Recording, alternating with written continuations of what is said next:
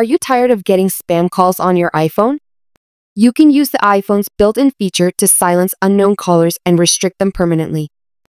As you can see here, when my iPhone is in ring mode, not enable any settings, and calling from an unknown number, my device rings and shows a call preview on my iPhone screen.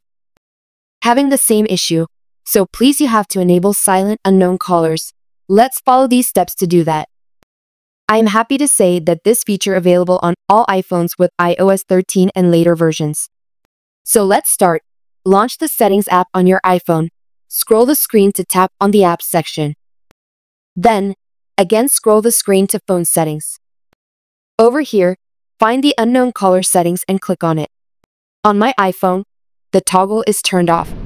We need to turn it on. Now, let's test by calling from an unknown number and check what happens. So, when you enable the Silence Unknown Callers feature on your iPhone, it will block unknown contacts from calling you. In addition, you will not hear the phone ring. The unknown or spam caller goes directly to voicemail. You can see their missed calls on the phone app's recent list. If the unknown caller leaves a voicemail, you can hear the voicemail later.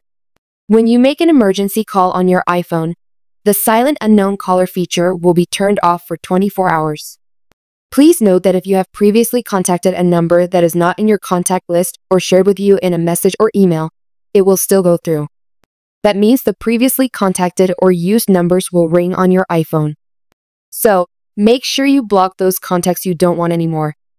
To completely block unwanted calls from particular numbers, follow the on-screen video steps. Launch the phone app on your iPhone. Go to the Recents list. Then, tap on the info icon next to the number.